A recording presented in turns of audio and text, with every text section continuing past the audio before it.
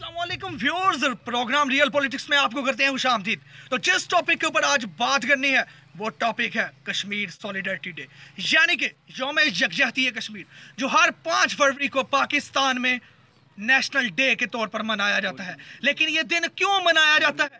آج بات کریں گے اس ٹاپک کے اوپر۔ تو فوکس کرتے ہیں ان تینوں لفظوں کے اوپر جو آپ کے پاس ہے یوم اور اور یکجہتی اور کشمیر۔ تو کشمیر سب سے پہلے دیکھتے ہیں کہ کشمیر ہے کیا۔ کشمیر بیسیکلی وہ ریاست ہے جو برسوں سے اس کوششوں میں لگی ہوئی ہے کہ وہ آزاد ہو جائے، لیکن آج تک آزادی کی تحریک کو کامیاب نہ کر سکی۔ وہ ریاست جس پر برسوں سے مختلف حکمرانوں نے حکومت کی، ان پر ظلم ڈائے اور اس کے ساتھ یہ بھی بتاتا جاؤں کہ اگر کشمیر کو میں دنیا کی جنت کہہ دوں، تو اس میں کوئی بھی غلط بات نہیں۔ کیونکہ وہ اس قدر خوبصورت ترین علاقہ ہے کہ اس کو ہم لوگ جنت کی مثال دے سکتے ہیں۔ اب زیادہ پیچھے نہیں جاتے۔ کشمیر میں کیا ہوا؟ کس نے کیا کیا؟ اتنا دور ہم نہیں جاتے۔ لیکن اس ٹائم پر ضرور جاتے ہیں جب یہ ملک پاکستان آزاد ہوا۔ تو بات کرتے ہیں نائنٹین فورٹی سیون کی۔ جب دونوں ملک جو کہ ایک انڈیا اور دوسرا پاکستان جو علیحدہ تو ہو گئے، اسی دوران کشمیر کے لوگوں کے دلوں میں بھی آزادی کی تحریک کی لہر تو اٹھی، لیکن وہ بالکل بے سود رہی۔ پاکستان اور انڈیا کے علیحدہ ہونے کے بعد چھ سو پچاس ایسی ریاستیں تھیں جن کو انگریزوں نے خود فیصلہ کرنے کا حکم دیا کہ یا تو وہ پاکستان کے ساتھ چلے جائیں یا ہندوستان کے ساتھ چلے جائیں۔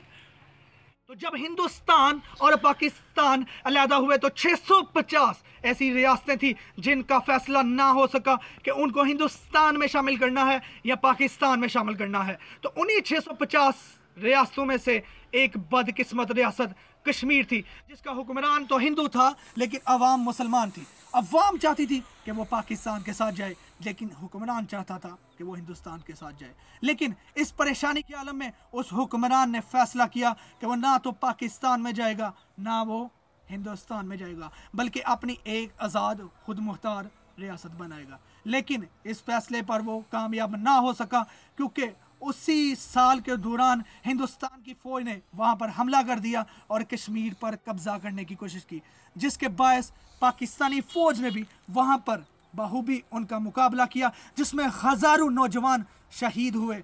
صرف پچیس فیصد علاقہ ایسا تھا جس پر ہم لوگ آج آزاد کشمیر بنانے میں کامیاب ہوئے۔ باقی دوسرے علاقے پر آج بھی ہندوستان قابض ہے۔ اس کا بھی فیصلہ آج تک نہ ہو سکا۔ تو اب فوکس کرتے ہیں اپنے تیسرے لفظ کے اوپر جو کہ ہے یکجہتی۔ تو یکجہتی کا لفظ سمجھنا پڑے گا۔ یکجہتی سے مراد یہ ہے کہ ہم لوگ کسی کو یہ دکھائیں کہ ہم اس کے ساتھ ہیں۔ دل سے بھی، جان سے بھی۔ اور کشمیر کو ثابت کرنے کے لیے ہم لوگ یوم یکجہتی کشمیر ہر پانچ فروری کو پاکستان میں مناتے ہیں۔ لیکن بدقسمتی یہ ہے کہ اس کو چھٹی کر کے مناتے ہیں۔ ہم کشمیریوں کے لیے وہ کچھ نہیں کرتے جو ہمیں کرنا چاہیے۔ یہ کیونکہ آج ہمارے پاس ہر پلیٹ فارم موجود ہے۔ چاہے وہ سوشل میڈیا ہو، چاہے وہ پرنٹ میڈیا ہو، چاہے وہ الیکٹرانک میڈیا ہو۔ تو ہمیں اور کچھ نہیں کرنا۔ ہمیں ہتھیار اٹھانے کی بھی کوشش نہیں کرنی چاہیے۔ ہمیں صرف باتوں سے کشمیر کو حاصل کرنا چاہیے۔ اور باتیں کون سی ہوں گی؟ وہ مذاکرات، جن سے ہم لوگ کشمیریوں کے مفاد کو حاصل کر سکیں۔ ہم دوسری ریاست ریاست کے لوگوں کو یہ بتا سکیں کہ اس کشمیر کے اوپر کس قدر ظلم ڈائے جا رہے ہیں جو کشمیر ایک خوبصورتی کی۔ تو آئیے کشمیریوں کو دکھائیے ان کی یکجہتی اپنے سوشل میڈیا اکاؤنٹس کے ذریعے، اپنے پرنٹ میڈیا اکاؤنٹس کے ذریعے اور اپنے الیکٹرانک میڈیا چینلز کے ذریعے۔ ہم کشمیریوں کو دکھا سکتے ہیں کہ ہم ان کے ساتھ ہیں، ہمیں ان کو دکھانا چاہیے کیونکہ وہ آج بھی اسی تحریک کے اوپر گامزن ہے جس کے اوپر وہ برسوں سے تھے۔ لیکن بدقسمتی یہ ہے کہ آج بھی ہندوستان کی فوج اور ہندوستان کی حکومت اسی کشمیر کے اوپر قابض ہے۔ تو آئیے میرا بھی ساتھ دیجیے اور اپنے دل میں بھی کشمیر کا احساس پیدا کرتے ہوئے اپنے سوشل میڈیا اکاؤنٹس اور اپنے پرنٹ میڈیا کے اوپر اس کشمیر کے ایشو کو اجاگر کرتے ہیں۔ جتنا ہم اجاگر کریں گے، اتنا ہمارا بھی فائدہ ہوگا اور اس کشمیر کا بھی فائدہ ہوگا۔ کیونکہ ہمیں اس لیے فائدہ ہوگا، ہم نے ان کشمیری بھائیوں کو ان سے آزادی دلوانی ہے۔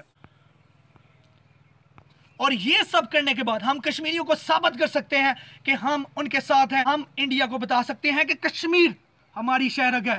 کشمیر ہمارا ہے۔ کشمیر پاکستان کا ہے۔